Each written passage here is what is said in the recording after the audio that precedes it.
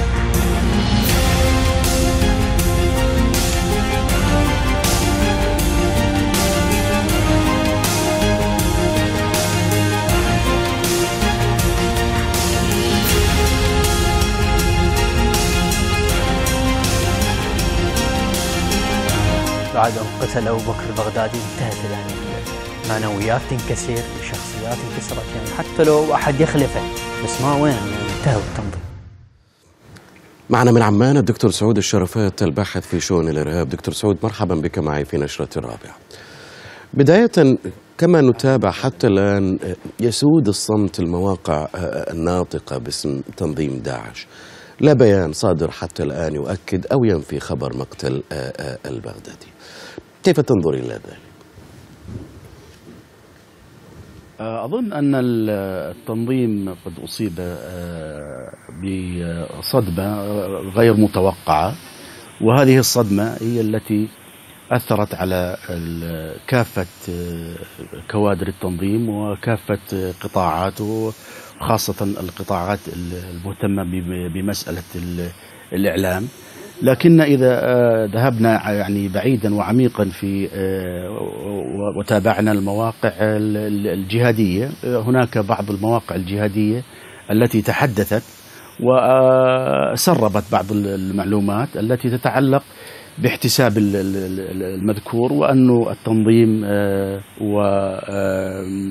ومسألة الجهاد ليست مرتبطة بأشخاص بل أن هذا هو المتوقع من من من يتسنمون سدة وقيادة العمليات الجهادية.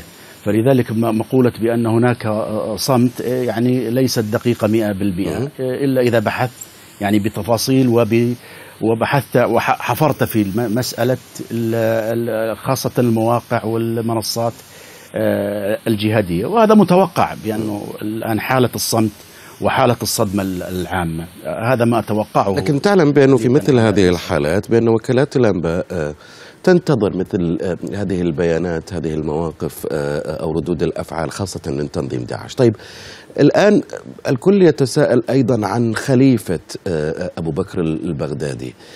إذاعة مونت كارلو الدولية أوردت تصريحات عن مسؤول أمني عراقي. قال بأنه قرداش أو أبو عمر التركماني هو من سيخلف البغدادي. حتى أن بعض المعلومات كما قال في في في في مداخلته بأنه بأن داعش سيأتي بذلك بأسوأ زعيم إرهابي لأسوأ تنظيم إرهابي في العالم. كيف تعلق أيضا على هذه النقطة؟ أنا تعليقي يعني هو تقرير مونت كارلو وبعض المواقع بدأت بالانتشار في هذا هذا اليوم يعني منذ اليوم. لكني أنا أتفاجأ أنه صحيفة النبأ الناطق الرسمي باسم داعش قبل فترة وبعد تصريح أبو بكر البغدادي بأنه عبد أبو عبد الله قرداش آه، التركماني من تل أعفر هو الذي سيتولى أمور ال- المسلمين وتنظيم المسلمين وردت اشاره إشارة للمتابعين يعني هي للمتابعين المتابعين آه، ملف الإرهاب وأدبيات الإرهاب وأدبيات داعش تحديدا تعني بأن الرجل قد قتل منذ فترة صحيح. يعني عندما يقولون بأنه آه، أبو عبد الله تقبله الله فهذه تعني بأن الرجل قد قتل.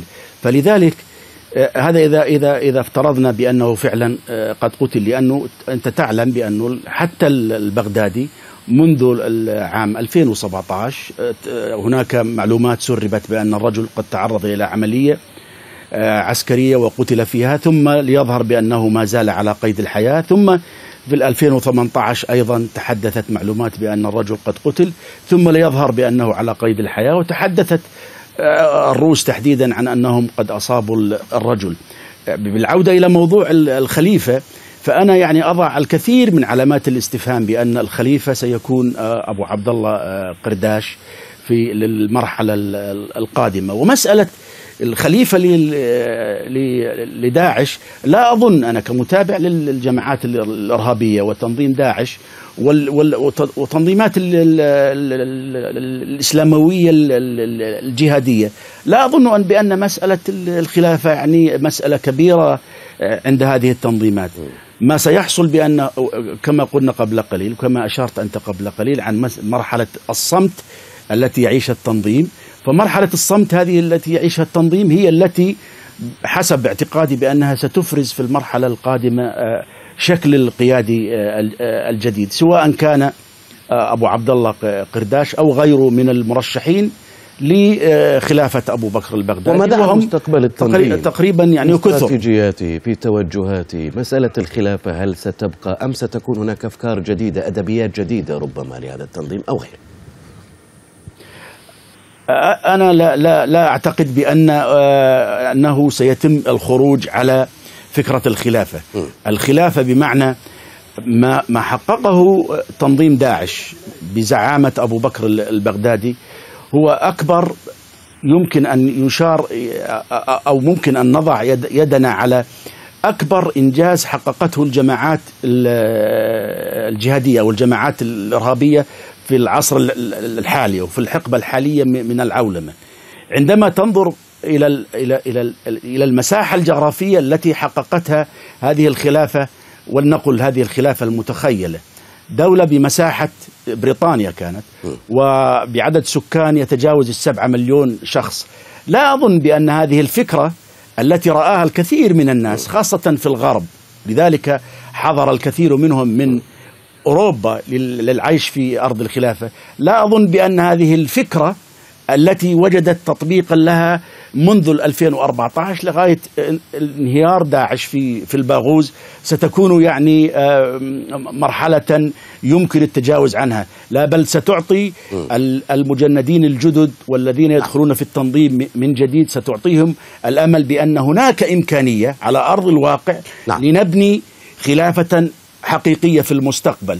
الآن المرحلة هي مرحلة ممكن أن تكون مرحلة مراجعة الأخطاء. أين أخطأ التنظيم؟ أين أخطأنا في المرحلة السابقة ولنتجاوزها؟ هذا التنظيم هو أنا أص- أصفه كوحش هايدرا إذا قطعت له رأس ظهر له له رأس آخر. شكرا جزيلا لك. من عمان الدكتور سعود الشرفات الباحث في شؤون الإرهاب.